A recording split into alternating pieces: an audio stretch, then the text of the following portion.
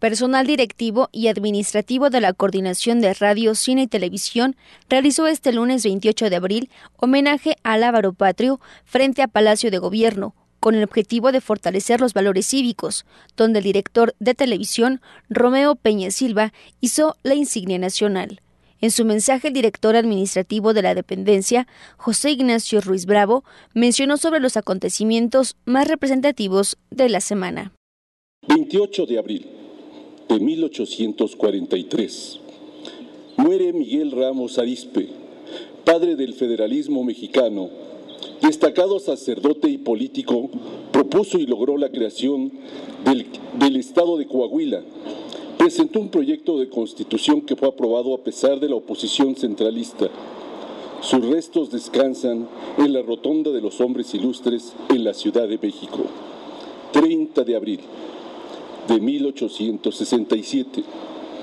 Toma de la ciudad de Puebla por las fuerzas republicanas del general Porfirio Díaz.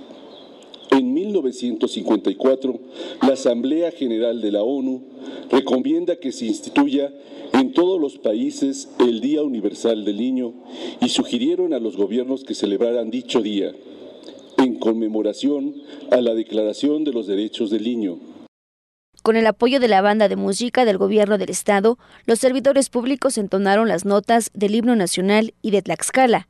Ruiz Bravo resaltó lo acontecido el 3 de mayo, ya que en 1518 fue el descubrimiento de la isla Cozumel.